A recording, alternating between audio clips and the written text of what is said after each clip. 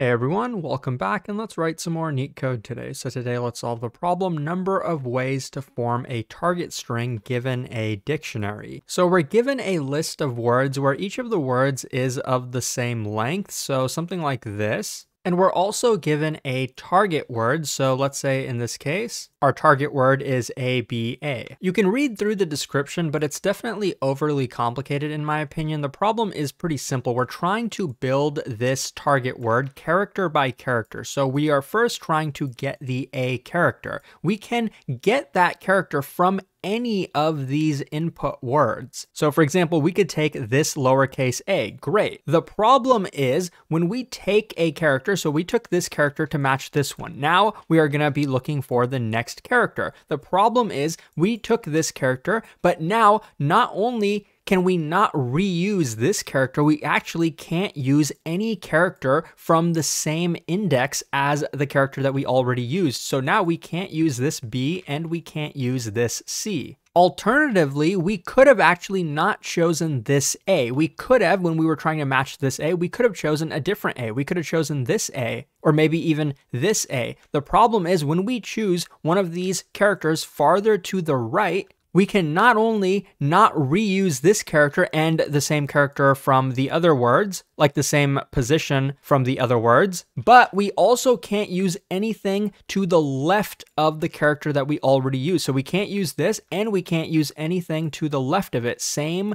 with every other word. So that's the restriction here. And that might make you think, well, if we ever want to even be able to build this word, we better have these words have a length that's at least equal to this one. I don't know if there's a guarantee about that, but that's just like a small observation that you might make. So what's one possible way that we could build this word? Well, we could use this A, which makes it so we can't use these characters anymore. Now we're trying to look for a B. There's no B's over here. There's some B's here. We probably want to pick this one. So let's go ahead and do that. Now we can't use these characters. And now we're lastly looking for another A. We have actually a couple choices. We could do this one or do this one. Let's just do this one. And now we've matched the target. So that's one way we could build the target word. And in this problem, we are trying to count the number of ways we could do it. So this will kind of make you think, let's try a brute force approach. Let's try to count every single way manually, maybe with backtracking, but definitely with recursion, because kind of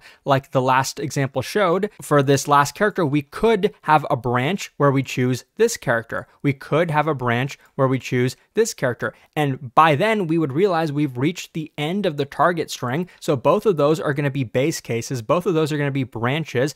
Each of them is going to return one. This branch counted one way to build this word. This branch, maybe using this character, counted another way to build this word. And if you can honestly get the brute force solution, that is getting pretty close to solving this problem. There are probably multiple ways to brute force this. Well, there definitely are. The challenge is to do it intelligently so that we can apply caching to the problem. And to be honest, you never know if you can actually do caching or not until you actually try to brute force the problem and try to figure out which parameters you are going to pass into that recursive function. I usually call the recursive function DFS. You can call it whatever you'd like. Some people call it DP, or maybe you can give it a long name. It doesn't really matter but what parameters are we going to be passing in? Well, a couple of the obvious ones are going to be what index are we at in the target word because we are going character by character to build the target word. Let's call that index i because that's kind of the most important one. We can't really move to the next character unless we've matched this character. So in our DFS, that's going to be one variable. And luckily in our list of words, we only need one variable. They call it k in this problem, so that's what I'm gonna be using as well, but we only need one variable because this k will tell us the position we're at in every single word because anytime we use a character, we can't use any characters to the left of it for every single word. So k is gonna make things pretty easy for us. And initially it's also gonna be at zero to start with, just like i. k is going to be our second variable, and that's actually all we really need. We don't really need to keep track of anything else. Okay, so given that, how do we even brute force this problem before we even think about caching? How do we brute force it? Well, it's all about thinking about what are our choices. That's what it's about. What choice do we have when we're trying to find a matching character for this? We're looking for a A character. We're at this position in all of our words. So our choice here is let's try to look at every single word. Does this word have a lowercase a at index k? Yes, it does. So that's kind of a possibility. Does this have a lowercase a? It does not. So that's not a possibility. This one also does not have a lowercase a. So we really only have one choice here. And when we take this choice, how are our parameters going to be updated? Well, let's say we started at index 0, i is at index 0, and let's say our k is also at index 0. Well, when we go here, we're definitely going to be incrementing our i because we did find a match, so that would be 1, and we're also going to be incrementing our k because we used the character at index k, so now we can't use anything to the left of it, so now k is going to be 1. Now, this is not a great example to figure this little trick out, but Think about it this way. What if there had been a lowercase a over here too? There was a lowercase a. What would our other branch look like? Well, i would be incremented by 1, and our k over here would also be incremented by 1. So what I'm saying is whether we use the character from this string or this string or this string, as long as we use the character at index k,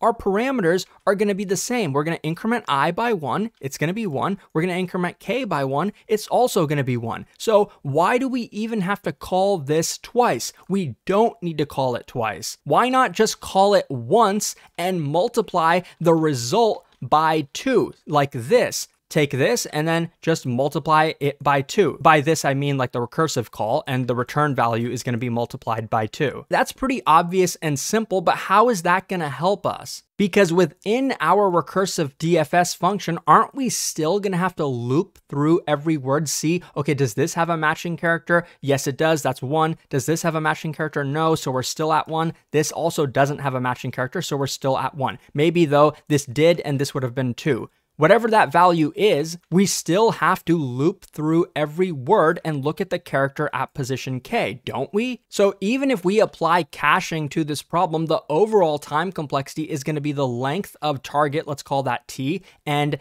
the length of each input word, let's call that K, and then for each DFS call, we're going to have to loop through every word anyway. Even if we apply memoization to this, this would be the time complexity with memoization. And then multiplying that by looping through each word is going to be, let's say, k squared, or actually not k squared. It's going to be the number of words. Let's call that w. So this is going to be the overall time complexity. That's actually not bad, but it will get time limit exceeded on LeetCode. So there is another trick we're going to have to do. And basically, it's going to be pre-computing the count of each character at each position. So basically, we're going to say how many lowercase a characters are there at position zero among all of the words? How many lowercase b characters are there, etc., etc. We're going to go through each position, get the count of each character, and then within our DFS, we're not going to need a loop inside that DFS. So then the overall time complexity of the DFS will become the length of the target word, that was t, and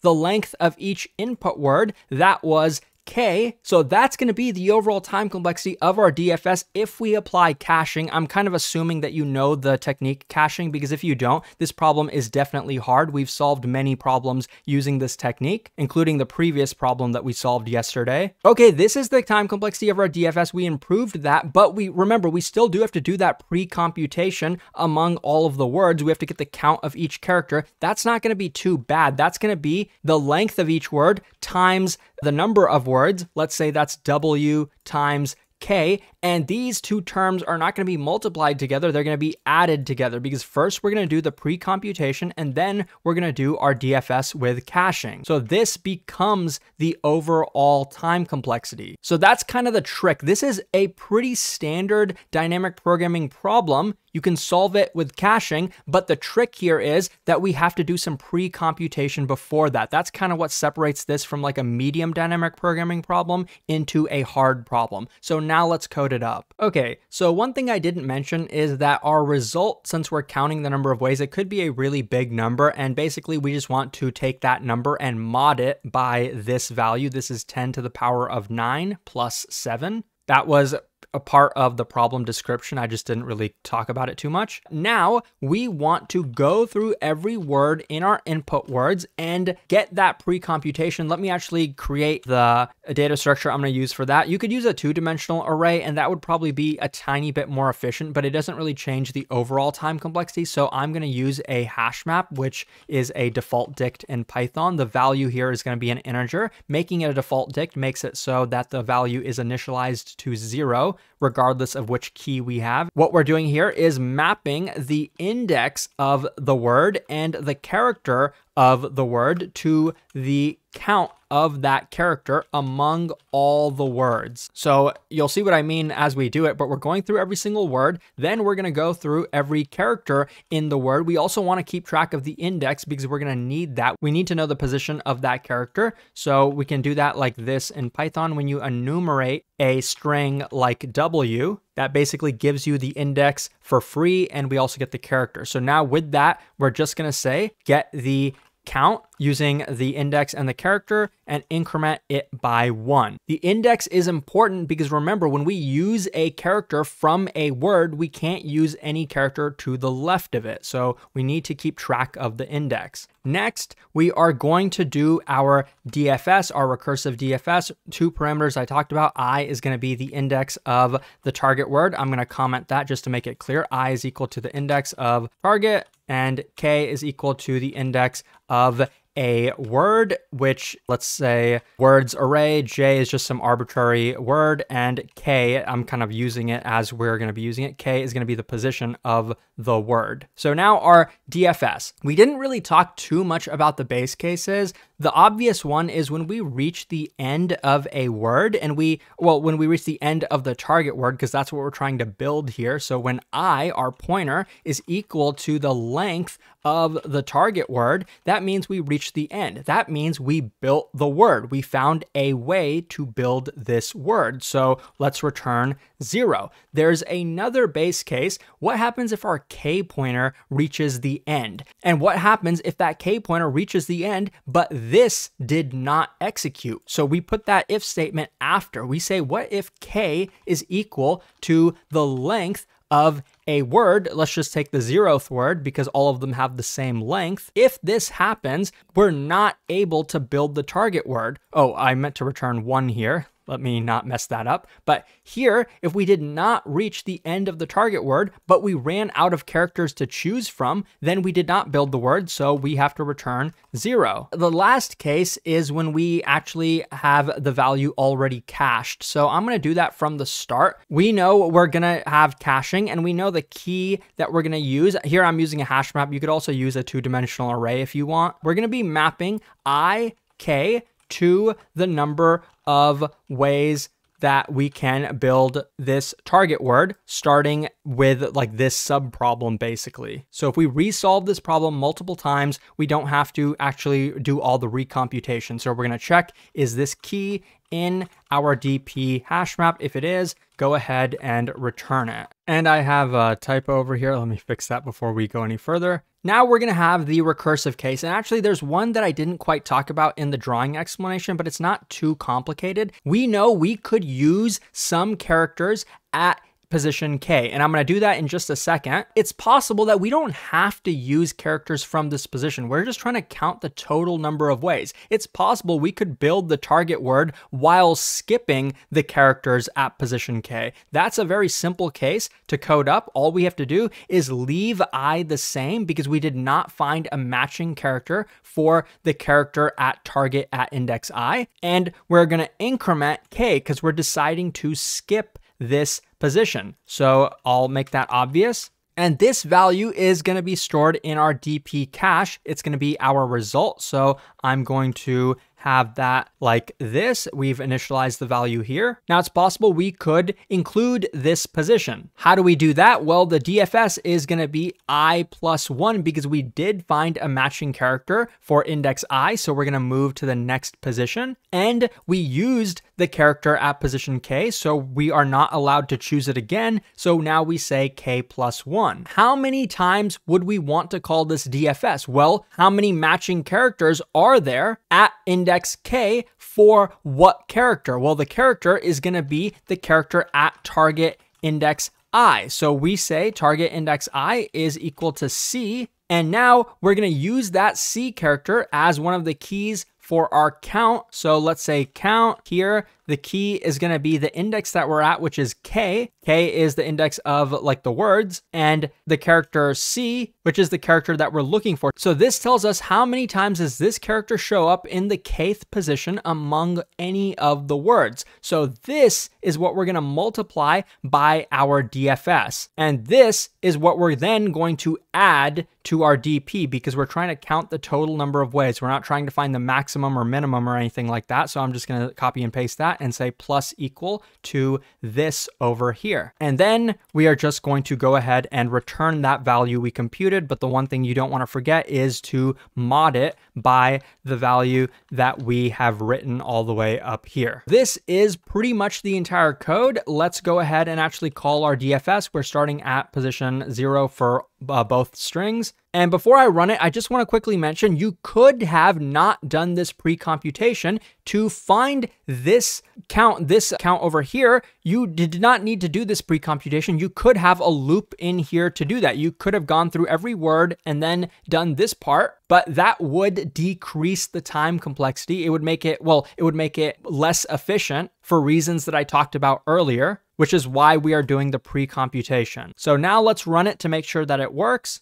And as you can see, yes, it does. At first, it might look like it's not very efficient. And the reason is because here we're using hash maps instead of using two dimensional arrays. It doesn't change the overall time complexity, but using arrays is more efficient because you don't need to hash the key. So it definitely improves the runtime, but I don't really think it's worth it because in a real interview, I don't think anyone would care if you're using a hash map instead of a two dimensional array, but you can use a 2D array. It just takes a bit more code to actually initialize it in Python. That's why I went with a hash map. But if you don't believe me, try replacing these with 2D arrays and you'll find that the runtime does improve, I think to about 50% when I tried it. But I definitely prefer more concise code. If this was helpful, please like and subscribe. If you're preparing for coding interviews, check out neetcode.io. It has a ton of free resources to help you prepare. Thanks for watching and hopefully I'll see you pretty soon.